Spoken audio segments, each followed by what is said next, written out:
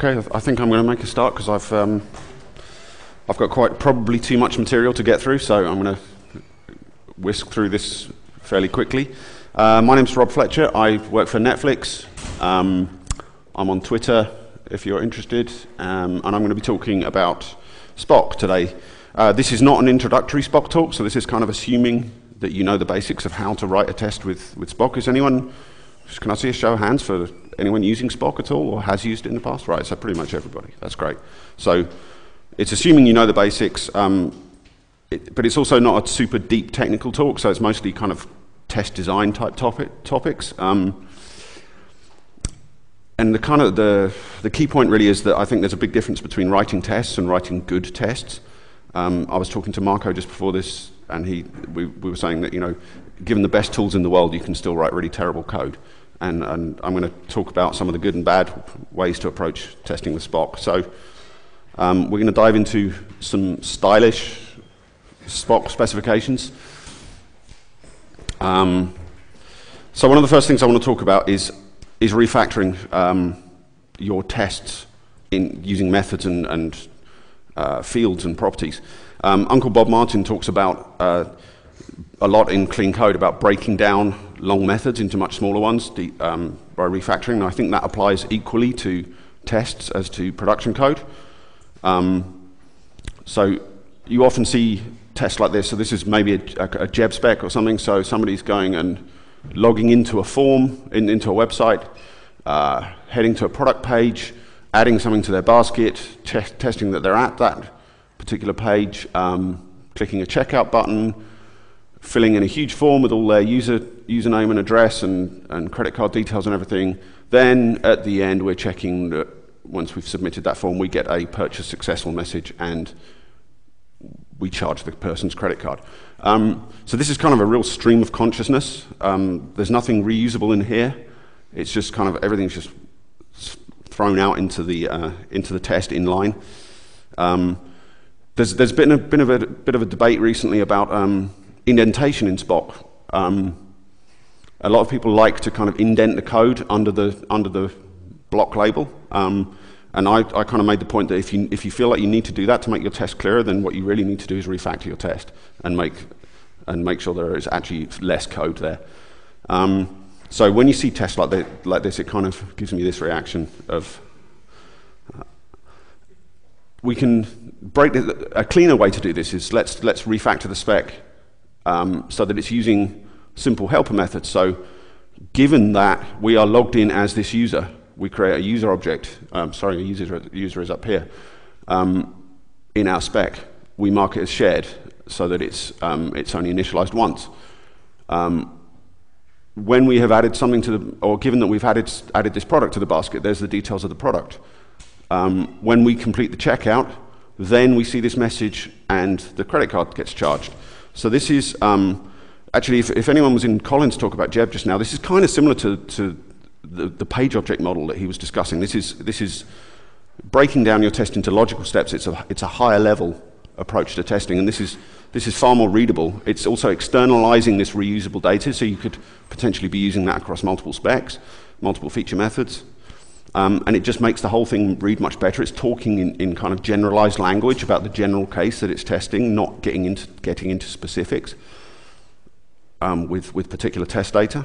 Um, so we've kind of wrapped up some of these some of these actions that we saw previously into methods that could be in the spec class. They could be private methods in the, in the spec class themselves.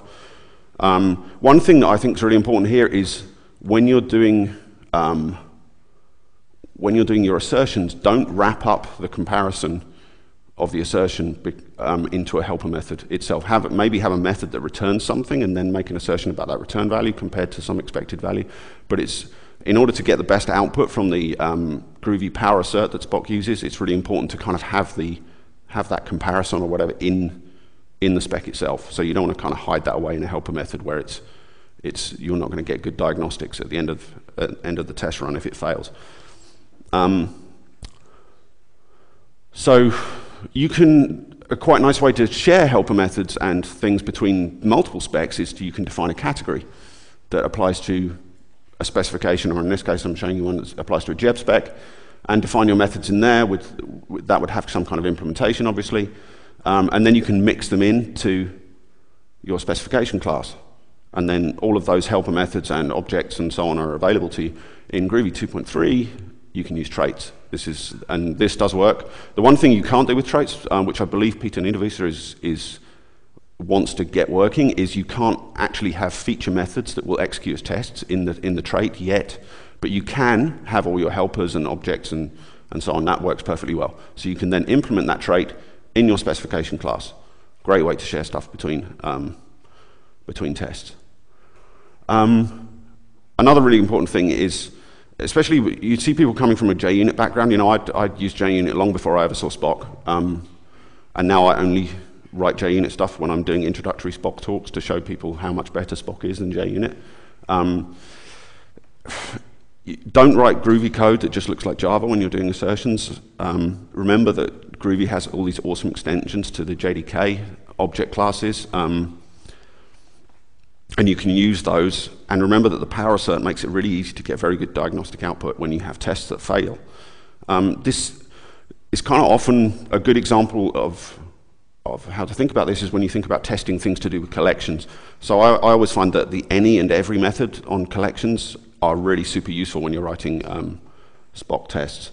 So here's an example of like how not to do it. So we're we're doing some kind of finder method here um, on a service, I guess, and we're asserting that we get three results back, and all of them have this correct value set, which is what we search by. Fine, this is kind of the, the thing you would have to do roughly in JUnit. It's fairly similar structure anyway. Um, we, we're having to assign uh, um, assert about the size of the list just to make sure you know we haven't actually got extra ones here that may be hiding incorrect values. If we didn't make that assertion, then there might be. What if there was a third, fourth, and fifth element where this assertion didn't hold? We need to test that. So, and it's kind of repetitive. And the other thing that's nasty about it is, is it fails fast. If this first one is incorrect, this one and this one never get run. So if you've got problems, if you've got different problems at different steps in that assertion, um, you kind of fix one thing, run it again, and it fails in a different way. Fix that, run it again, it fails in a different way. I'm going to come back to that topic a little bit later. Um, so here's a nice way to bundle it up. Remember to use the every method in, that's attached to every object in Groovy, and is particularly useful on collections. So we can say, we'll pull our results back and we assert that because every returns a Boolean if every single member of that collection passes this closure. So we, we assert that this property on every single instance in that, in that um, collection passes this closure. This is much cleaner. Um, but what happens if the assertion fails? Let's take a look at the output. So this is the power output. This is pretty cool. We can see all of these items in the results here, but we can't really see what was actually wrong here. Um, so another way, another really important thing I, I find here is to remember to use um, implicit collect. So if we, if we use, if we refer to an invalid property on a collection, Groovy will try to um, find that property on every member of the collection and return, return you that um, return you a collection of those values. So it's like, it's like the map operation in, Java, in uh, JavaScript, or um, I think it's called that in Guava as well. Um, so here, instead of asserting on an array of these ship objects, we're asserting on an array of strings. And look how much better the output is now. We can see all of, the, all of the things in that collection, but we can also see all of the strings that we're making an assertion about, and we can see which ones are incorrect. This is much nicer. So remember to use that implicit collect, collect operator. It's really, really useful. And you can also, if there, if there was a, a method call in here, you can do star dot here and get back a collection of the results of, of that method call. Um, this is a kind of TDD principle generally of making one, one logical assertion per test. That doesn't necessarily mean you only have one assert in your test, but it's kind of testing one asserting about one piece of behavior, which may involve you know, a couple of steps. Um, and I like to think of this, if you've heard of the, the solid principles of software design, this is kind of the, the S, the single responsibility principle, when applied to tests. So this test is testing one piece of behavior and one piece of behavior only. Um, because this is really important because when the desired behavior changes, and it will, because because projects evolve over time. It's easier to identify the, the tests you need to change, and it's easier to isolate the changes you need to make from things that should remain the same. Um, it's also, the tests then have high documentation value um, because it's easier to find the test for the thing you're, you're, if you're learning the project, for example, it's easier to find the test for the thing you are tr trying to understand rather than having to pick it out of a bunch of other things that are kind of unrelated. Um, you do kind of need to, when you're thinking about end-to-end tests, functional tests, maybe it's Geb or, or, those kind of tools, where speed becomes a factor, you, you kind of do end up violating this a little bit sometimes because, for, in the interest of speed. But it's about striking a balance, right, and remembering to try and think about this. Um, so like here, here's a bad example of we're pulling these, this list of objects back and we're making some assertion about them, but we're also making some completely unrelated assertion that that list is immutable. Um, split this up into two tests, even though it involves a little bit of repetition, that's fine because you'll then, you then have tests that are purely about one piece of behavior. Um, when thinking about the, the, the grammar of, of the Spock blocks, you, a lot of people kind of tend to automatically just write when and then pairs. There are other ways to approach this, so um, think about what the test is saying. And I often find one technique I use a lot is, is to, you know, you can give descriptions to the blocks in Spock, and I, I sometimes will write those before I start write, writing any code. So I'll say given with a string, given this precondition, when this happens, then this is the outcome. Um, and that helps you kind of think about the structure of your test in that way. So here's an example where we're inserting a bunch of things into, a, into some kind of list, and then we're asserting that um, this property is, you know, we know that because we've got these three people in there. We need a science officer in our team because we don't have one, right? Um, but this is not really an action. This is not an action we're testing. The thing we're testing is this behavior here, that it's working out the correct result. So this is not really a when step, in my, to my mind. Um, this is a precondition. This is kind of setting up the test. So I think, it I think it reads better if you make it, given this precondition, expect this to hold. And this is kind of a subtle thing, but I, I, I kind of harp on about it to my colleagues a lot, and, and I find it quite important that that you, you know the difference when it's appropriate to use given and expect and when it's appropriate to use when and then, and do actually just put a little bit of thought into it. One thing you can't really do though is you can't catch exceptions in an expect block. You have to have a when block. So there are, there are situations where you can't do this, and mocks as well will only work in, if there's a when block. You can't use uh, mocks with an expect. But think about it. Um, speaking of mocks and stubs, use the right one in the right situation. So here we've got a test where we are logging in, adding something to a basket, doing a checkout. This is similar to the test I showed you earlier. And we're checking that somebody's credit card gets charged. This is good because the thing we're interested in in this test is that this credit card gets charged. That's the important thing. So we're asserting that that happens. Good.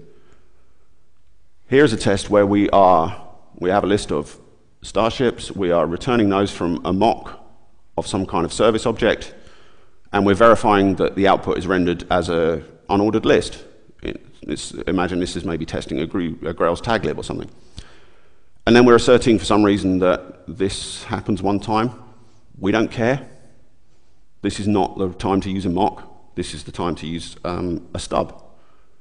Because that is just a kind of thing that must happen in, in order for this behavior to work. But we don't care whether it happens or not, and we don't care really much about how it happens. That may be tested somewhere else or it, you may not need to test it at all because you're, you're thinking about the behavior of the object from outside. So in that case, use a stub rather than a mock. And th the really nice thing I find here is that the test reads much better because the declaration order makes more sense here. In this one, it makes sense that we are asserting that this happened one time at the end. In this one, it makes sense that we set up what happens when that method gets called at the beginning. So the, de the declaration order is different, and it makes the test, test read much nicer. Um, cleaning up resources, I'm going to skim through this one because it's not that interesting. So Uh, if you've got anything that is, has uh, some kind of expensive cleanup steps that need to be done on those objects, this one we have to call this drop table method, on this one we have to close it, you can use Spock's auto cleanup annotation. It will by default call a close, look for a close method, or you can tell it the method to call. Much easier than you can do away with that cleanup block. You can use it on shared things as well, and then it will run as a cleanup step, so at the end of the, all of the tests. Um, this is a nice thing that Luke Daley taught me. Um, one of the reasons that the expect block exists is for enforcing preconditions. Here's a test where we are we're setting up a, a, user object and we're sticking them into a database using a service, and then we're testing that when we count count the rows in the table, there is one user now. Um, but it's kind of important when we're dealing with things like this, this database presumably kind of lives between the tests, or may do. Um, what happens if there was already something in there, or you know, we, we, need, we have a precondition, an assumed state of the, of the universe before this test begins? And it would be nice to maybe assert about that, make an assertion about that. And one of the things you can do is you can stick an expect block in other places in the test in order to do that. So here we can say, right, we expect that the state of the universe at the beginning of this test is that there are no users the, on this database table. And then, given that this, this is the this user is set up, when we persist him, then now we should have one user there. This is, a, this is a, a really nice way. I hadn't thought of this until Luke showed it to me, to use the expect block in this way so you can put it in other places in the test and just use it to enforce preconditions as well as use it in the more normal sense.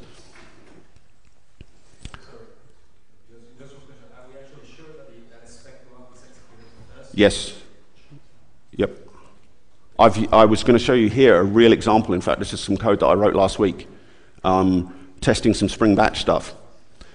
So what I'm doing here is that testing, if I try to rerun a Spring Batch job, it doesn't allow me to. It throws, a, it throws an exception um, because I've already run that job. So I mock out some things. I run the job once in the given step then I, but it's important that if this fails, it would let me rerun, okay? So it's important that it the, the initial run actually completes and doesn't fail. That's, that's kind of the assumed precondition.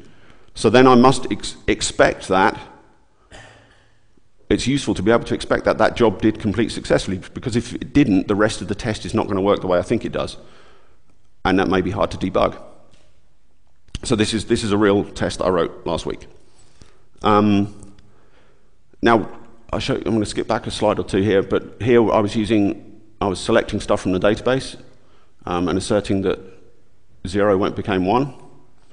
You can access previous values from before the when, when block in, um, in Spock. This is, this is awesome for freaking out Java devs who think it's just voodoo. Um, so let's assume that we're pushing some objects into a stack here. We're saying we add this string to the stack, now the size is one. Okay, great. For a simple example like this, this may be fine, but what if this is some kind of shared resource and we don't really know how many things might be in it?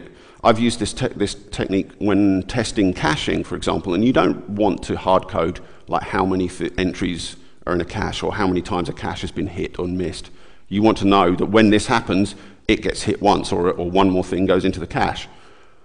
Um, so in, J, in JUnit, you'd probably do it like this. You would, you would read the size of the stack beforehand, then you'd compare later. Spock has a really nice shorthand that I absolutely love for doing this. It has this method called old. So you can say, when I push this item onto the stack, the size is now one bigger than the old size. Like I say, this is fantastic for freaking out Java developers who just think this looks like magic. And what happens is that Spock actually manipulates this code and, and executes the content, the, the content of that old method call before the when block. So it kind of, if you, if you step through it in a debugger, it's really interesting because you'll see the debugger go into the method, do this, then jump back up here, and then step through. So then you, that kind of gives away the magic, and you see under the, under the curtain, as it were. Um, tests are executable documentation. Um, this is kind of an important idea. Um, they can't go stale the way a document can. Everyone, you know, I've worked on loads of teams where somebody was tasked with maintaining some horrendous Word document that was never correct, never up to date, or wikis are also you know, where information goes to die. Um, tests don't have that problem as long as you maintain them properly. if they're passing, they're giving you useful information. But what this means is that things like naming things and structuring tests is really, really important because they are the documentation for your system. If you, if you have new people joining your team, it's important that they can read those tests to understand how stuff works. Um, this is a nice quote I found. Um, programs must be written for people to read and only incidentally for machines to execute. So the primary purpose, and this apply, this goes double for tests, I think. The primary purpose is so that you can read it and understand what's going on. Another way of putting it Always code as if the guy who ends up maintaining your code will be a violent psychopath who knows where you live. So think about the, think about the poor guy who's got to look after your code in a year's time when you've left the project. Um, this, this concept of red-green refactor comes from TDD. You, this is the kind of the workflow of TDD. You write a, write a failing test, you write enough code to make it, make it pass, then you you keep the test running, but refactor that code so it's actually nice code. Then you go around the loop again, you write another failing test. Um, there's a book called um, Growing Object Oriented Software Guided by Tests, which is a fantastic read. And the, that introduced me to a, um, the idea that there's kind of another, there's a missing step here. So I always kind of think of it as red, amber, green. Make sure that you get a good diagnostic when the thing fails. It's not enough to just have a failing test that just explodes on an exception or just says, eh, something is wrong there is some problem. Not good enough. I want to see what is wrong. Why, what is different from the expectation? So it's really important to think, okay, write a failing test, look at the output. Is it good enough to help me debug this later when it breaks? Then fix it, then refactor. So this is like my prime directive. Never trust a test you haven't seen fail. Don't assume it will correctly detect a regression. This is why I think TDD is, a, is kind of a good idea because you, this can't happen, right? You, you make sure the test fails, fails first. Um, if it does fail, it may, may fail for a completely different reason. It might not fail at all, even if the code is wrong, in which case it's an invalid test. It might be really hard to figure out what is wrong, if, even if it does detect an error. So even if you're not actually test driving, I think it's really important, break your code when you write the test and make sure that the thing detects the, the failure it's supposed to be detecting. Talking of tests as documentation, um, Spock has some nice annotations you can use, um, which don't do anything functional, but they, can be, they are retained in bytecode. Then they're better than comments because they're retained in bytecode and they can be read by tooling. You could, you could use, um, you could write document generation tools that read this stuff out of the, out of the compiled bytecode of the test. So one thing I, one that I find really helpful is having subject on the object under test. You can put this on a field or on a, on a local variable. Um, I think you can put it on a type like this. So on your test, you can say the subject of the this test is this class, or you can have multiple classes in there, I think. Um, so this is really, if you've got a load of mocks being set up or a load of dependencies you need to inject or something, this is quite useful to isolate. This is the field that we're talking about in this test. Um, issue is a nice one. You can put, if you're, if you're using issue tracking software, you can put links to the issue that you are fixing or implementing on the feature method in the specification or on the specification class itself. That's really handy. Um, See is good for just, you know, for a longer discussion about what this test means. Go look at this blog post or, or this website or whatever.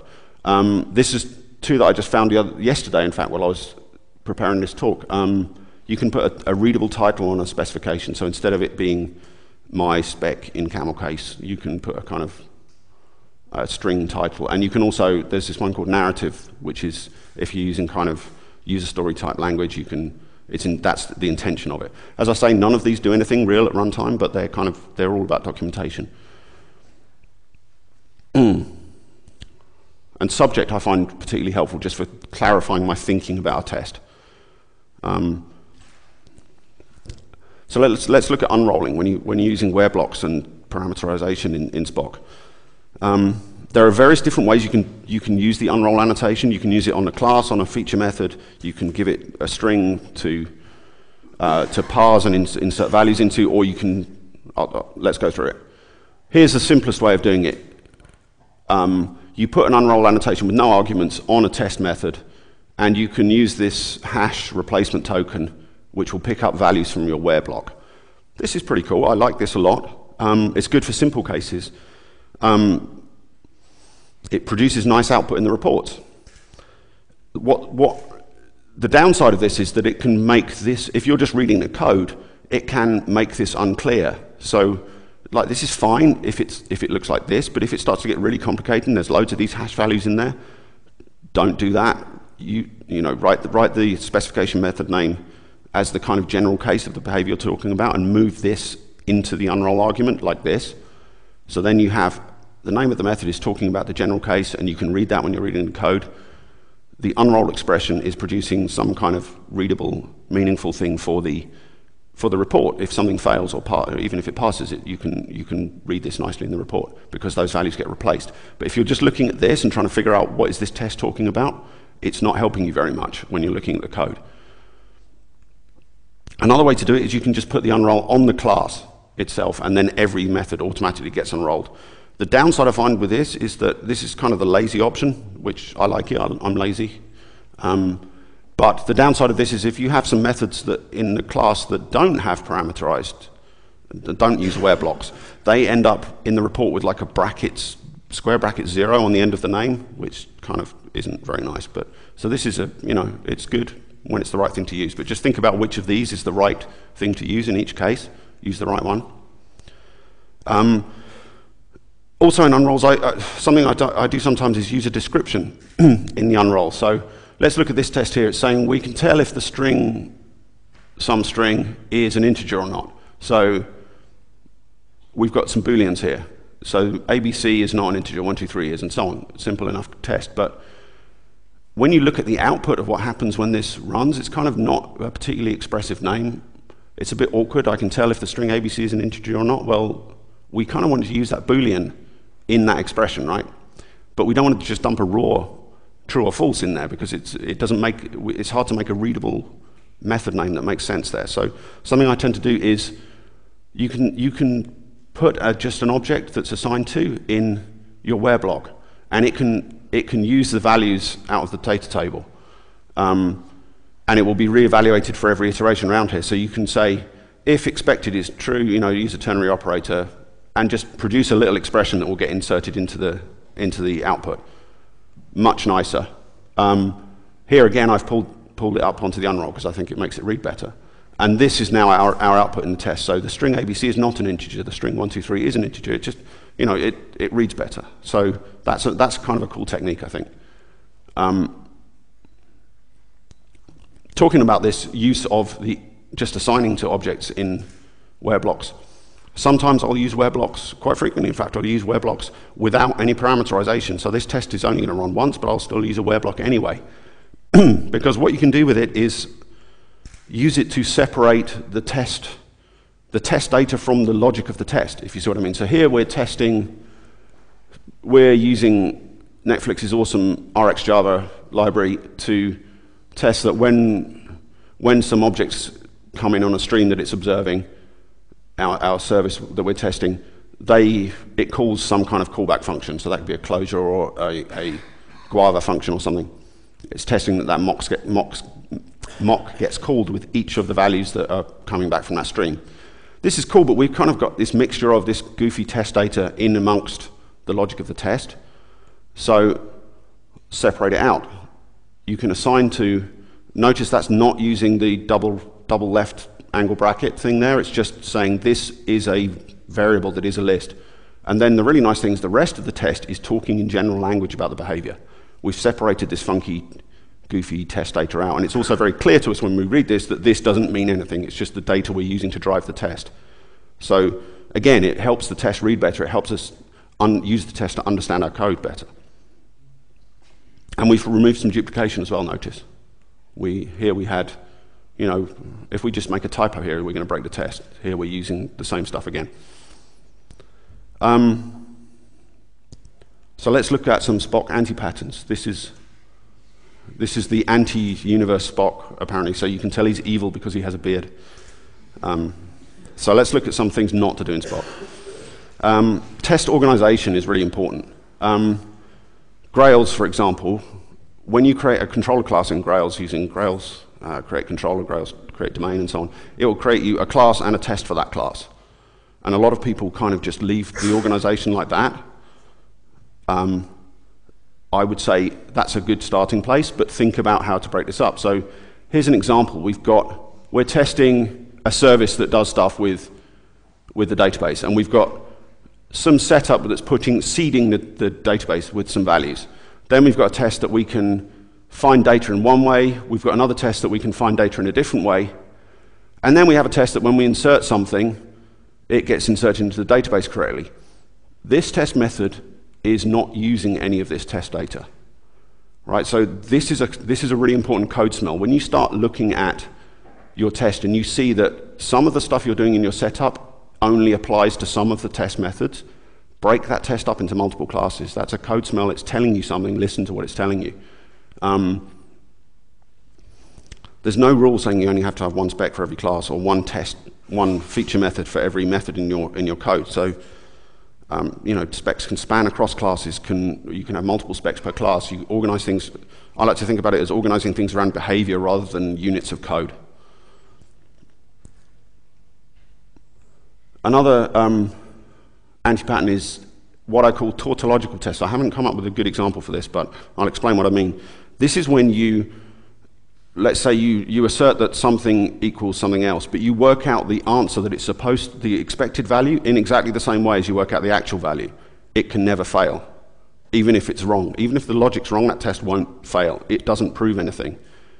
Um, another example is, you know, you'll, you'll see, you'll unwind some really horrendously complex test, and then you'll realize that all it's really proving is that the mocks work. It's not proving anything about the production code's behavior at all that's, you know, that happens. I've written tests like that. You, it's easy to kind of forget that that's what's happening. Beware of that, of that happening. Um, you know, these tests just don't really prove anything. They just consume CPU cycles. A related idea is this thing called false moniker testing, where um, this name came, there's a blog post written by one of the guys I used to work with at Energized Work called Max Ashton, who, who wrote a good blog post about this. There's a link on the slide, slides if you have a look at the deck later on, to that blog post. Um, so this is when you're um, Instead of asserting things about the behavior or asserting things about the exact thing you're interested in testing, you use some kind of label. So here we're setting up three Starship objects with a name, like which faction they belong to and the year they, year they were made or whatever. And then we're asserting that we can find them by allegiance and they're ordered newest first. But all we're doing is we're going, okay, hang on, we'll get these three names. We, this is the three things we expect to get back. We're not actually testing that properly, are we? We're not, because if you look, it's actually wrong. This thing does not match this allegiance, so it shouldn't be in there. Also, look carefully at the years. They're in the wrong order. It's not obvious that that, that is the case from the test. The test is actually incorrect, but when you read it, it's not obvious that it's incorrect um, because we're using a false moniker. We're, we are just looking, at these, looking for these labels, these names of things. This is, a, this is a real problem when you've got lots of funky test data. And, and it's fun setting up goofy test data, right? And you end up putting loads of it in your tests and using it, but it's actually, it, you know, fine, set up some fun, goofy test data, but don't make assertions about those dummy values. Um, separate that stuff out and assert the behavior. So let's look at this kind of constructed properly. We get our list back and we assert that everyone has this as its allegiance property, and we assert that when we resort that list, it ends up in the same order we got it in. So there we're really testing the behavior. We're not just using these names as kind of a shortcut to something that looks like a test and really isn't. Um, again, I couldn't think of a great example for this that would fit onto a slide. So this is about you know, treat your units of code as black boxes. Test them from the outside. Even, even at the smallest level, if you're testing a method or an object, don't worry about what's going on inside unless that really is the thing, the important thing you're interested in. Um, test them as a black box. Don't overly complexly interrogate internal state. Don't overly use mocks when you don't really need to, when, you, when a stub would do, or some other kind of test double. Um, bloated when block, blocks are fun. Um, I, you see this a lot where, okay, so here we are, we're adding three products into a basket. We're going around this each loop, then we're going to the basket page, and we've got three things in the basket, and it's those three products, right? So, but this is not the action we're testing. This is the action we're testing. And when we go to the basket page, this happens. This is, should be in a given block. I see this a lot with Geb tests, where people put a huge stream of activity in the when block. Most of it should actually be in the given block. So think about where, what is a precondition and what is the action that I'm actually testing. So split it up. That stuff should be in a given block. And then the when is really simple. This also helps the old method I showed you earlier work better, right? Because it can, anything that happens up to this point is, works with the old method. Anything that happens in here doesn't. So the structure again can help you in a technical way as well as having documentation value. We saw an example of fail fast assertions before. This is when you've got multiple asserts and if the first one fails, the, the subsequent ones don't actually run at all. For example, if you test stuff in loops, now in, in JUnit you kind of may, ha may have to do that. In Spock you've got better tools, right? You can, you can use a where block to split things up and don't have fail fast assertions it's, it's really bad for your the feedback cycle from your test because, you know, like I explained before, you fix one thing, then it breaks in a different way, then you fix that, and then it breaks again. You want to be able to see it's broken, fix it once, done. Stepwise specs are kind of a special case of fail fast assertion. Um, I don't. I, I, try not to use them. Sometimes you have to, especially on really slow things, with in Geb particularly. But um, for optimization reasons, reasons you have to. So a step, on a stepwise spec, um, Colin talked about this earlier, um, so I'm not going to go too, too deep into it, but the test methods will run in order, and if any one of them fails, the ones after it won't run at all. Um, it's a trade-off doing this. It, it can be useful if all of these things are really slow and involve state that kind of it, it makes your life a lot easier if you can maintain that state in between the tests. Fine, okay, you can do it, but think about it, it's something you should try and avoid wherever possible. Um, so those are kind of my Spock anti-patterns. So let's think about some, cool, some of the cooler stuff we can do with Spock that's maybe not immediately obvious, thinking a bit outside the box. Um, TCK specifications are really good fun. So tool compatibility kit, this means, I believe. So this is, let's say you've got um, one interface and multiple implementations of it that work in different ways but they all have to conform to this interface. So if you were, if you were the guys doing the JDK and you were implementing array list and, and linked list and stack and everything else, they all have to conform to the general contract of, of the list interface. Spock is, is really good for doing this because you can create an abstract class that extends specification. Um, I've kind of got something wrong there, haven't I? But yeah, ignore this bit. Oh no, I'm sorry. Yeah, it's so I've parameterized this. So look at the subject here. Our subject is this type parameter, so it's something that implements this ship store interface. We haven't set it up, but yet we are able to then call the methods on it and make assertions. We can write a bunch of tests that are describing the general contract of this ship store interface in an abstract class. This won't run by itself. We then implement it. Here's a really simple Im implementation where we've got an in-memory in -memory store, and our setup method assigns to that subject field an instance of the in-memory store. We don't have to write the tests again. Here's a more complex one where it's using JDBI to persist um, things to a database. So we've got kind of some slightly more complex setup and cleanup. But it can still extend that same, that same abstract test and reuse all the methods.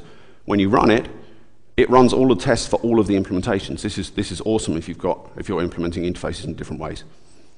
Um, data-driven parameterization, there was a question at the end of Colin's talk just now on Geb um, about, which I think the gist of it was kind of related to this idea.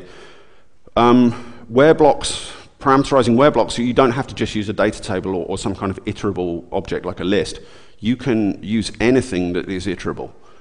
So you can drive it with a file or read, you know, reading lines from a file or rows from a database or that kind of thing. Think it doesn't have to be as simple as the, as the most basic examples. Here's a, here's a test we had at a place I used to work where it was kind of important for indexing purposes that we wanted to make sure there was a primary key on every single table in the database. So this test expects that when we've got uh, you know, a JDBC connection and we look at, we're iterating over all of the tables in, in the database, and when we, we, we can test each one individually to make sure it has a primary key, right? Where is this value coming from? Where is this list coming from? Well, in the setup spec, we, we create a shared collection of strings, which are all the list of table, table names. And we just read, use the JDBC connection again to read those out of the database metadata. this is great because now if we add a new table to the, to the application, we magically get a new test for it without doing any work at all. Um, so that's kind of a simple example, but that's a real, a real test that we had in a, in a system I worked on. And you can do things like that. So, you know, it's automatically adding tests for you. Um, conditional tests are kind of fun. I, I, wrote one of these the other day as well. Um, so Spock has an annotation called ignore if that takes a closure, and if that closure returns at runtime, returns something truthy, the test doesn't execute. You can put this on, a, on an individual feature method, you can put it on the whole test. So um, it, has a, it has a groovy script binding uh, in this closure, or a delegate rather, um, which has the Java version, the current environment variables, and the Java system properties injected for you automatically. You can do other stuff, uh, but those are kind of common ones. You know, you might have a test that only, only applies below a certain version of Java because you've got a different way of doing it in Java 8 and so on. So you only run it if in that situation. Then you'd set up your Jenkins box to have run against multiple versions and so on. And, but that test only needs to run in certain conditions. Um, again, here's one I wrote the other day where I was, because I'm working remotely, I'm, I'm using a VPN to connect to into the office, but I don't want to have that VPN running all the time. It's pointless. But there was one particular smoke test I wrote that needs to connect to something that I can only connect to when I'm on the VPN. So I wrote a little helper method that tested, uh, given an, any URL, an arbitrary URL, can I connect to that URL within a second? Because I want my test to run reasonably fast. Because the sucky thing about this is it does slow it. This second happens at the beginning of executing all of the tests. So can anyone guess what happens if you use this? Put this ignore if on. So it, it only runs this test if, if I can reach this URL, which is some kind of internal thing I need to be on the VPN for. Anyone guess what happens if you put this on multiple tests? It takes a second to time out, trying to connect to that URL. Um, so use memoized on that, because uh, otherwise your tests are going to run really damn slow when you can't connect. Um, Another, this was a great talk, um, a great blog post the other day by somebody from Object Partners showing how to test JavaScript with Nashorn and, and Spock. So you can read a JavaScript file into the Nashorn script engine, and then you can invoke functions on that JavaScript. Or you know, you can get object references, you can pass objects into function calls. So here we, we're testing something from Moment.js, which is a, a datetime library in JavaScript. And we're testing that when we kind of throw some java.time.local datetime objects at it, it can convert those and it can figure out, turn them into a kind of human readable format like two days ago, two minutes ago, tomorrow, and so on. And that's a JavaScript thing, but we can test it with Spock. And we get all the cool things we get from Spock, like where blocks and everything. It's a really nice um, thing. So somebody, uh, there's a guy called David Norton from Object Partners wrote a blog post about it the other day. It was really cool. Um, I'm going to skim forward a bit quickly. So this is just some cool features in, in Spock. IntelliJ gives you auto-completion in unrolls. It doesn't when you do it in the method name, unfortunately, when you have the hash fragments in the method name. But if you're doing it in an unroll annotation, you can auto-complete these hash things with the variable names from the, from the where block. That's, re that's really good fun. Um, you can use double pipes to separate inputs and outputs in a where block. So the idea is here, these are the inputs and this is the expected result. Um, IntelliJ's formatting doesn't quite work if you've got multiple columns to the right of the, uh, of the double pipe, but it's, it's, it's kind of cool. Um, you can, if you want those parameters to be strongly typed, now IntelliJ's typed inference is really good, so I don't tend to worry about this too much, but if you're using method calls where the type's not really statically determined, um, and not amenable to tooling. If you want all your auto-completion to work in the rest of the test, you can put parameters on the test method that co correspond to those, those variables in the where block. Um, you can use JUnit rules in Spock with no effort at all. Um, so here we're using the JUnit's temporary folder rule to set up a temporary folder, and then we're, you know, we're writing some data into it and checking that it, it works properly. Yes, Andres?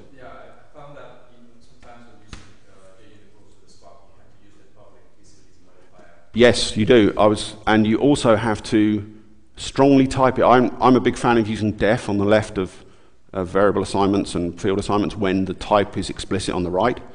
Um, and you can't do that with rules for some reason. Something in the JUnit engine doesn't cope with it. Uh, so you have to give it the actual type there. And I believe, yeah, you're right. I think I've run into the thing as well where you have to make it public. Yeah. I found this, I wrote a library called Betamax, which, which is implemented as a JUnit rule. One of the, the way you integrate it with your tests, it's implemented as a JUnit rule. So um, I, I, believe I encountered that there. Um, you can use Hamcrest matches. I don't know how much you need to, given how awesome the Groovy Power Assert is, how much better it is than anything you get in Java, but Hamcrest is a way of kind of defining conditional matches that you can use. Um, to finish up, let's look at a couple of goofy things you can do with Spock. Um, don't do this, it's just a bit of fun. So this is a thing I tweeted about the other day, and like a load of people retweeted, and I was like, oh, no, come on, guys, I'm not serious, don't actually do this. Um, So I'm using, um, I'm aliasing the import there of, of the void type as, as should, and then I can kind of use some BDD language and say, should do XYZ. That's kind of fun. Um, this, this is a slightly more serious one that sometimes you may actually want to do this, but you can have multiple when then, when then, when then steps in a, in a specification, which is not necessarily immediately obvious. And it works properly. It will, it will run this when spec, when step, do the assertion, then move on to this one, do, the, do another assertion. So that works. It's not a great way to structure specs, I don't think. Um, it kind of violates that, that solid um, single responsibility principle I was talking about earlier, but it's sometimes it's the right thing to do, maybe. It's, it's useful to know that it's, um, it's available. So somehow I managed to get through 96 slides inside the time. So I have four minutes and four and a half minutes left for questions. So anyone got any questions or comments?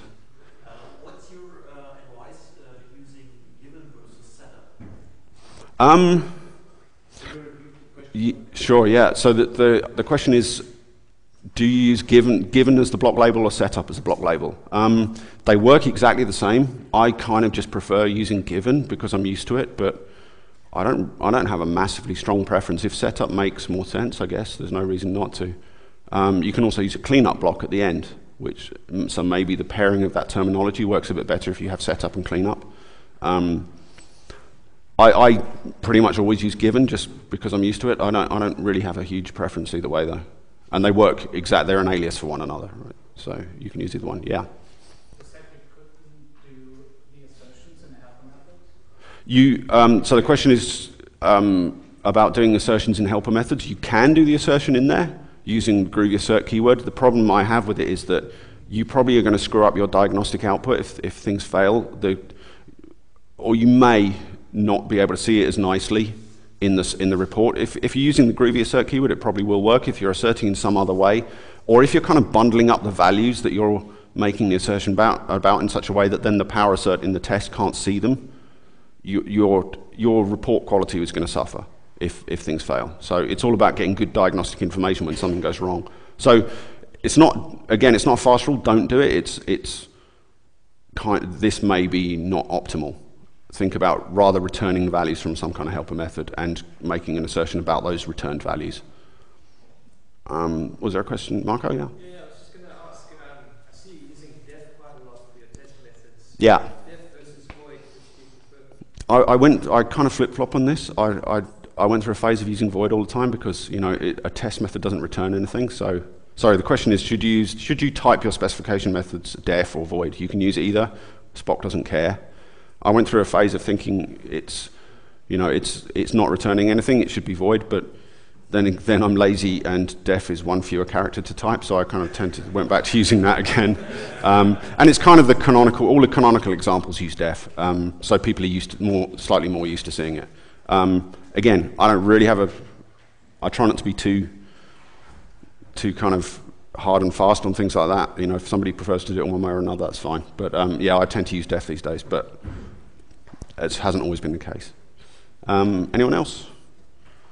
Okay, uh, thanks very much, and I hope that was. Oh, sorry, yeah. Can't see for the projector light.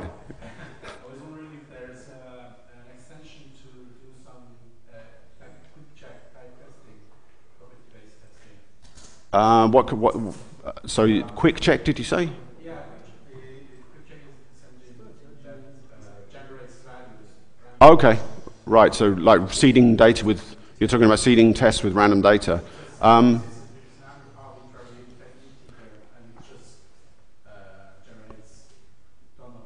Okay, so yeah, it's like there's one for JavaScript called um, Fixie.js that does something similar where it just inserts a bunch of test data into, into an HTML DOM. Um, I'm not aware of a Spock extension to do that, but I think if there is such a tool, it would probably be really, really easy to wire that into a where block. It's you know similar to the, the example I showed you where I'm reading database metadata and using that to seed the, the iteration of the where block. I'm sure you could, you could apply that pretty easily. Um, yeah, you probably, you probably don't need much in the way of special tooling for that. Maybe an extension will make it a little nicer, but I expect it'll be pretty easy to just, just do it without one. Yes, Andres? Any news on the book? Um, yeah, so I, I, any news on the book is the question. Um, so I, I, kind of said I was thinking about writing a Spock book, and I have actually made a start on it, and then I've, I've done like four chapters, and then I haven't done anything for a few months now. So I hope to get back to it, but I have too many open source projects, as a lot of people know, um, and who write me pull requests and things that I then find, struggle to find time to look at or raise issues on things that I then struggle to implement. Um, I really hope to get back to writing that book. I'd love to do it. Um, we'll see. I hope so. I hope it's going to happen. I do have a bunch of notes and material and, and some stuff finished, but yeah, it's not there yet. This actually, all of the content of this talk came out of my notes for that book. So this, yeah. Yes? Um, I think that it would be very good if more Groovy people can have a verb called Spockify. Right. To, to, be, uh, to tell people to Spockify their tests. Yes, so Spockifying tests. I, I, I, do another talk which is kind of an introductory Spock talk, and it's comparing Spock with JUnit, and it's, the, it's kind of aimed at non-Groovy developers, right? So it's, I think even if you're writing code in that's not implemented in Groovy, you should consider using, using Spock. Um, if you're writing code in Java, you should, without doubt, use it over JUnit. It's, it's so much better in so many ways. Yeah, Spockify, I like it. okay, uh, thanks very much. I hope that was, that was useful.